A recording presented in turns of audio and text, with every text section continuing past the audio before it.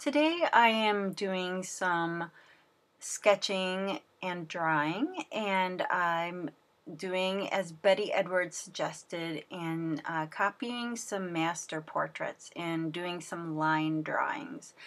And uh, these are all uh, dead artists Van Gogh um, masters uh, that have passed away, and I'm just doing the work for myself. Uh, this isn't uh, professional work. This is uh, something that Betty Edwards and other uh, teachers have suggested doing uh, the way apprentices in older times often did.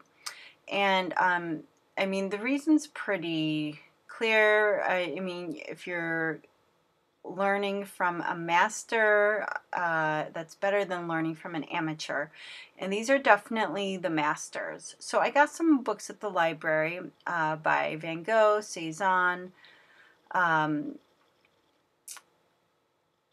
this one's interesting. I mean, these are huge volumes. I would love to just read. But as you can see, even though these are famous painters, they did so much drawing and sketching. Um, this one is Egon Schiele sketchbooks. So these are literally his sketchbooks that have been scanned into this book. Um, looks very interesting as far as the content. So, um, and maybe just his thought processes. So, I'm looking forward to. Uh, in fact, one of the sketches I do is from this book but I'm looking forward to reading. Actually, um, I'm sorry my head's in the way here. Maybe I'm covering a nude and didn't even know it uh, to make this PG 13. but as you can see, these masters have volumes and volumes of sketches. That's how, you know, they probably got so expert. Um, this is someone I hadn't heard of before, Raphael Soyer. He's a Russian American artist. This is an old, old book. As you can see, it's kind of looks hand bound, um, but beautiful copies. A lot of um, very, um, I like his settings. They're not very constructed. Lots of mothers nursing babies, things like that uh, and Matisse portraits uh, since we're, I'm still working on the portrait basically. Um, I didn't do any profiles. I couldn't, I didn't, I'm sure I could find, there's kind of a profile. Um, in fact, the first drawing I do is, um, it's not a complete profile, but again, it's similar to that one. It's um, by Cezanne, I believe. And think it's called uh, Woman with Veil. Pretty sure that's the name of it.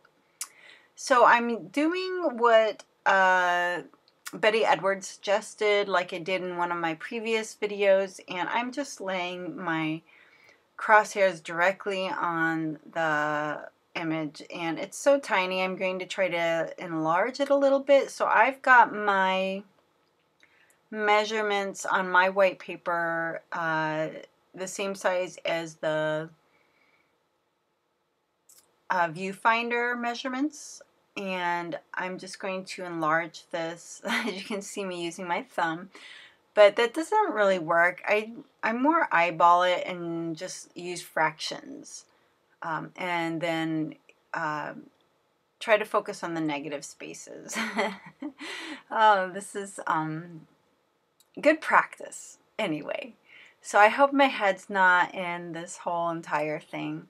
Uh, but anyway, we can talk about this. Um,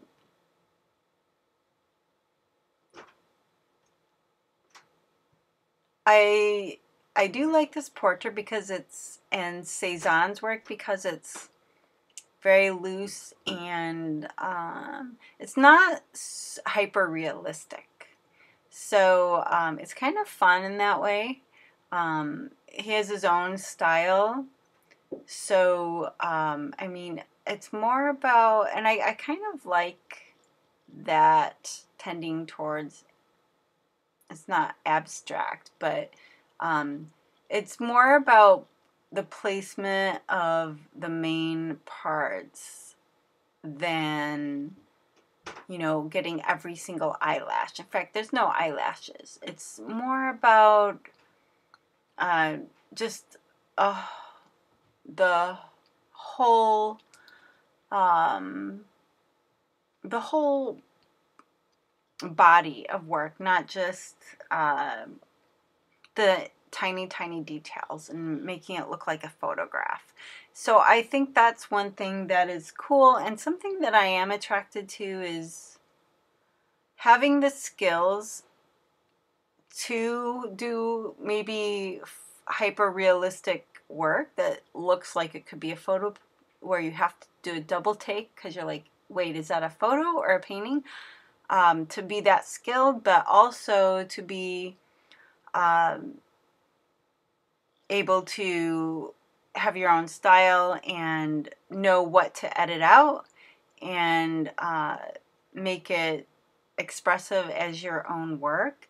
And to be honest, I there are there are some uh, very like the photorealistic artists um, that I like, but so many of them, um, I don't know, I just don't like that style very well.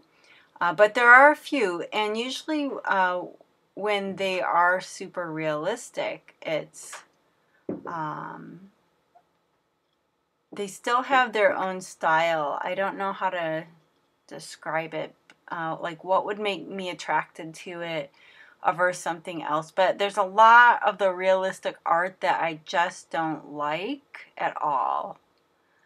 Um, so, I mean, I don't, I shouldn't be critical probably um, just because of my skill level, but, um, you know, it's just a personal preference, I think. And also, maybe I just don't um, have the the words to express what I'm thinking right now, but um, I could show you examples maybe of works I like. All these books, definitely, I like the work in them. So um, there you go. And uh, this nose here, I was struggling with. Um, so I'm I'm happy actually with the port the work I'm doing, but I'm noticing that it's still not. I'm something was off, so it's like accounting. It's like everything's off. So um, you know, and then you have to go back and start erasing. So that's the thing to be careful of, I'm realizing. Um, and I will hopefully get to a point where I'm not even using crosshairs and I'm doing this from live models more. And, um, you know, I can tell by the sketches that this was very freehand in a way. I mean, I know Betty Edwards says these artists are still making those notations, but uh, they're definitely not struggling and so tight um, as I am right now. And I, I notice a difference when I have that confidence in my painting and it shows in my brush strokes and so forth. So here I'm actually was, was happy. So, um, but it was, her face was a little more fat than it should. Oh, and here, um, let me talk about this a minute. So this was a sketch by Egon Schiele that he did, and I'm going to draw it. Now, the main thing that I did wrong with this is I flipped it upside down halfway through, which I thought was a good idea because then I could, you know, do that trick the brain or the left brain to drop out. The only problem is everything was off, and you have to stay um, with your everything lined up. You can't just, it's like a measuring cup. You can't, you have to have it at eye level. And so the face got, uh, you can tell one side's different than the other because of that. Uh, but other than that, I'd say um, this is definitely a great practice and uh, using just some books. You don't have to go to an actual museum if you just get a book of, of art. And for your own personal practice, this isn't um, something that we're going to share. You can keep it totally private, but um, it's um, this is my results so far. So thanks for watching and congratulations, you made it to the end of the video.